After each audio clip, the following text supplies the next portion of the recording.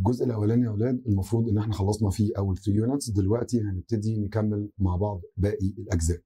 طبعا المفروض في عندنا unit 4 ال modal verbs في unit 5 الأفعال المتبوعة ب to ال infinitive وال verb ing في في unit 6 ال causative ولكن في وسط الشرح أنا هدخل لك حاجات برضو أنت مطالب بيها في الامتحان عشان لو شفتها ما يبقاش عندك فيه مشكلة. من القواعد اللي بتبقى موجودة في الامتحان ومحتاجين إن إحنا نركز فيها قاعدة if أو ال if conditionals لازم نراجع عليهم. قواعد if طيب بص يا سيدي بالنسبة لقواعد if إحنا عندنا ليها أربع حالات. ركز في واحدة واحدة معايا. حضرتك عندك أول حالة خالص اللي اسمها ال zero conditional ال zero conditional يا أولاد اللي هي الحالة الصفرية. والحالة الصفرية يا أولاد أنت بتعبر فيها عن facts حقائق بتعبر فيها عن habits حاجات بتحصل بنسبة 100% حقيقة. زي ما إحنا عارفين العلاقة دايما بتبقى ما بين العبارتين اللي ورا if علاقة سبب بنتيجة. اللي ورا if ده بيتسمى ال if clause اللي هو بيبقى فيه سبب. والجزء الثاني اللي هو جواب الشرط زي ما أنتم بتقولوا العربي أو زي ما إحنا بنسميه عندنا ال consequence clause ده بيبقى جواب الشرط ده بيبقى نتيجة للسبب يعني حضرتك لو سخنت المية إيه النتيجة؟ هتغلي. لو خلطت اللون الأبيض باللون الأحمر إيه النتيجة؟ هيديك اللون ال pink فالعلاقة في قاعدة if علاقة سبب بنتيجة. طيب لما بتكون النتيجة هتحصل بنسبة 100% لما السبب يحصل يبقى دي اسمها zero condition وبما إن أنت بتعبر فيها عن facts في ال present وشيء ثابت متكرر فبتستخدم present simple present simple ورا if. فزي ما نقول if you boil water it evaporates. أما لو جواب الشرط اللي هو الجزء الثاني هيحصل بنسبة 90% يعني مش 100% لا هو احتمال يحصل. لأن أنت بتعبر عن future probability. يعني إيه future probability احتمالية فين؟ في المستقبل. يعني احتمال إن الحاجة دي هتحصل إن شاء الله. ففي الوقت ده حضرتك تستخدم اف أو ما يساويها وما يساويها هنا زي as long as so long as provided اللي هي بمعنى بشرط أن أو شريطة أن providing تمام كده؟ in case ومعاهم on condition that اللي هي بمعنى بشرط. نقول تاني الروابط اللي بتساوي if في ال first conditional في الحالة الأولى. If بتساوي as long as so long as provided providing in case on condition that. كل دول بيجي وراهم. present simple أوكي وبعد كده will وال infinitive لو في subject طب لو ما فيش subject يبقى order. تمام؟ طيب واحدة واحدة. If he plays the match لو لعب المباراة إيه اللي هيحصل؟ He will score a goal سيحرز هدف طيب if you meet عمرو لو قابلت عمرو tell him ده المقصود بالاوردر قول له to call me ماشي كده الكلام يبقى if zero if present simple present simple حقايق if الحاله الاولى future probability احتماليه في المستقبل if present simple وبعد كده will will infinitive أو ممكن يكون order طيب بالنسبة لقاعدة if الحالة الثانية أنت بتعبر عن رغبة تمام في الحاضر. If لو يعني افتراض unreal situation موقف غير حقيقي. فلو بتعبر عن حاجة نفسك تحصل في ال present في المضارع فبتستخدم ال past simple جواب الشرط بيكون would وال infinitive بدائل if في الحالة الثانية اللي بيجي وراهم جملة كاملة clause عادية بيبقى عندنا if وفي suppose كمان supposing وعندنا imagine حلو اللي هي بمعنى تخيل. وبيجي وراها past simple would وال infinitive if he played the match well now لو لعب كويس دلوقتي he would score a goal. معنى كده إن he doesn't play well so doesn't score a goal.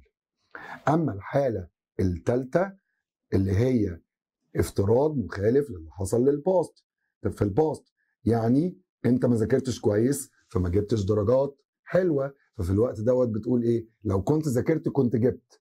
افتراض مخالف للواقع بتعبر فيه عن ندم الواقع اللي حصل فين؟ ها؟ في ال past if ماضي تام would have والتصريف الثالث if he had played the match well yesterday he would have scored a goal.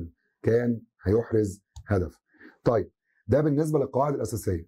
zero if present simple present simple. First if present simple will أو can أو may أو must والinfinitive أي مودال فيرب في البريزنت الحالة الثانية if past simple would أو could أو might والinfinitive الحالة الثالثه if past perfect would have والتصريف الثالث وهنا عندي شوية كلام هقوله لك فركز معايا. If ليها بدائل.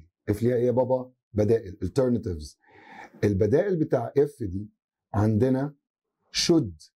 Should كبديلة لاف بتنزل مكان اف في الحالة الأولى والحالة الثانية طيب should بيجي وراها الفعل في الانفينيتيف وسواء حطيت will أو would تمام؟ شغال لأن should بتيجي مكان if زي ما قلت لك في الحالة الأولى والثانيه بدل ما أقول if he plays well will when should he play well? طب لو قلت if he played well he would when يبقى should he play برضه well he would win لأن should بتستخدم كبديلة في في الحالة الأولى والايه والثانيه خلاص؟ فأنت ركز. Should he play the match? He will score a goal. طيب بالنسبة لبدائل if في الحالة الثانية في عندنا where. Where ممكن تبقى بديلة لاف في الحالة الثانية لو الجملة زي كده. If he played well. He would win. هنا انت حضرتك. If he played where مش فعل رئيسي. فعشان كده لما تيجي تستخدم where هتبقى where he to play well. هي قريبة من should على فكرة. يعني بيجي وراها المصدر بس should بيجي المصدر من غير to. If he plays should he play? انما where لازم بتحط to قبل الانفينيتيف if he played well where he to play well if he went to the cinema where he to go to the cinema where he to play the match he would score a goal اما لو where فعل رئيسي في الجمله زي if I were a doctor أنا لو كنت طبيب I would help you بتشيل F وتعمل inversion فتبقى were I a doctor لو كنت طبيب I would help you حلو كده؟ يبقى were ليها كام حالة؟ اتنين. should ليها كام حالة؟ اتنين. should بتستخدم كبديلة ل if في الحالة الأولى والثانيه if played should he play if played should he play برضو. إيه اللي بيميز لك؟ will أو would طيب were بتستخدم كبديلة if في الحالة الكام؟ الثانية if he played well were he to play well if he went early were he to go early إنما لو were فعل رئيسي. If i were a doctor where i a doctor? If i were rich where i reach كمان عندنا هاد. هاد بتستخدم كبديلة لاف في الحالة الثانية والثالثه إزاي؟ لو الجملة في الحالة الثانية هاد فعل رئيسي if i had a car i would arrive early مثلا. تمام؟ I would arrive early. اسلوب اف وأعمل مقص ما بين i و هاد if i had a car had I a car. If i had a villa had i a villa. If i had money had i money. اما في الحاله الثالثه اللي هي if past perfect would have والتصريف الثالث بدل ما تقول if he had played well لو كان لعب كويس he would have won هتشطب if وتعمل مقص يبقى if he had played well had he played well if he had gone had he gone had he played the match he would have scored a goal دي الحالة الثالثة إنما هنا had I a car كان أصلها if I had a car الحالة الثانية I would give you a lift. طيب ده بالنسبة لقواعد if وخد بالك من نقطة أنا عاوز أقول لك عليها مهمة أوي. حضرتك عندك if he takes the medicine. لو أخد الدواء he will recover. حلو؟ الجملة اللي قدامي دي if he takes the medicine. الجملة دي active ولا passive لا الجملة دي active. كويس. في حالة اسمها close reduction. حذف أو تقليل العبارة. لو الجملة active زي الجملة دي يعني الفاعل هو اللي بيقوم بالفعل. If he takes the medicine ممكن أشطب he وأشطب takes بشطب ال subject وأشطب ال verb وبحط بدلهم verb ing if taking the medicine he will recover او taking the medicine he will recover انما لو الجمله passive كده if the medicine is taken in regular doses لو الدواء تم تعاطيه بع- ب- ب- بجرعات منتظمه he will recover في الوقت ده حضرتك اشطب الاوبجكت اشطب كمان verb to be وتسيب التصريف الثالث تبقى if taken in regular doses. يبقى لو الجملة active هتشيل الفاعل والفعل وتحط مكانهم ing. لو الجملة passive بتشيل المفعول وبتشيل ال verb to be وبتسيب التصريف الثالث خلي بالك عشان ده ممكن يقابلك وانت شغال وبتحل. طيب ده كان بسرعة scan على قاعدة if عشان لو قابلتك. بس برضو في نقطة مهمة افكرك بيها. قاعدة if إحنا عندنا in case of بديلة لقاعدة if بيجي وراها verb ing phrase يعني. بدل ما أقول if I study in case of studying. If I have a study plan in case of having a study plan. حلو؟ إنما عندنا without بدون. But for بدون.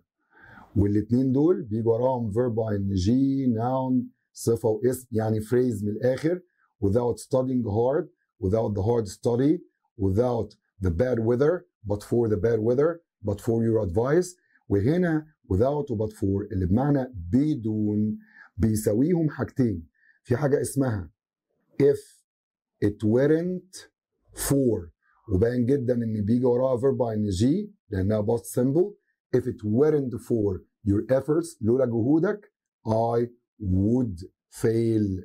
في الحالة الثالثة تبقى if it hadn't been for لولا جهودك. برضو بيجي وراها verb ing أو noun.